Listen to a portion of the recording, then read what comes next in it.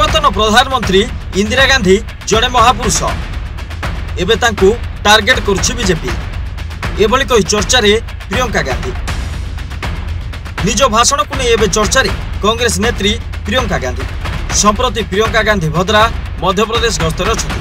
ପ୍ରିୟଙ୍କା ଧରର ମୋହନଖେଡ଼ାଠାରେ ଜୈନ ତୀର୍ଥସ୍ଥାନ ପରିଦର୍ଶନ କରି ଏକ ଜନସମାବେଶକୁ ସମ୍ବୋଧିତ କରିଥିଲେ।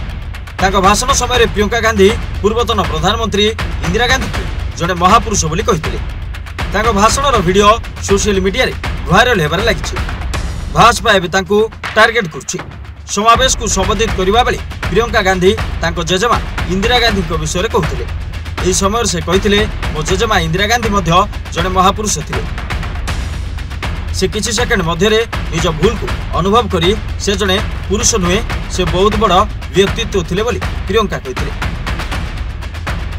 ଏବେ ଭାଜପା ନେତାମାନେ ପ୍ରିୟଙ୍କାଙ୍କ ଏଭଳି ବିବୃତ୍ତିକୁ ଗାନ୍ଧୀ ପରିବାରର ଅହଙ୍କାର ବୋଲି କହୁଛନ୍ତି।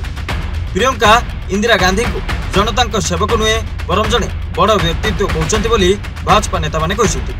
ପ୍ରିୟଙ୍କା ଗାନ୍ଧୀ ନିଜ ସମ୍ବୋଧନରେ କହିଥିଲେ ମଧ୍ୟପ୍ରଦେଶରେ କଂଗ୍ରେସ ସରକାର ଗଠନ ହେଲେ ଅନେକ ଯୋଜନା ଆରମ୍ଭ କରିବ। ରାଜ୍ୟରେ କଂଗ୍ରେସ ସରକାର ଗଠନ ପରେ କୃଷକଙ୍କ ଋଣ ପୁଣି ଛାଡ଼ କରାଯିବ। ଶହେ ୟୁନିଟ୍ ବିଦ୍ୟୁତ୍ ମାଗଣାରେ ଉପଲବ୍ଧ ହେବ। ପୁଣି ପେନ୍ସନ୍ ପୁନଃ କାର୍ଯ୍ୟକାରୀ କରାଯିବ ପାଞ୍ଚଶହ ଟଙ୍କାରେ ଗ୍ୟାସ୍ ସିଲିଣ୍ଡର ଉପଲବ୍ଧ ହେବ ଏବଂ ମହିଳାମାନେ ସେମାନଙ୍କ ଆକାଉଣ୍ଟରେ ମାସକୁ ପନ୍ଦରଶହ ଟଙ୍କା ପାଇବେ ଏ ରାଜ୍ୟକୁ ଭାଜପା ମୁକ୍ତ କରିବା ପାଇଁ କଂଗ୍ରେସକୁ ଜିତାନ୍ତୁ report rise Odisha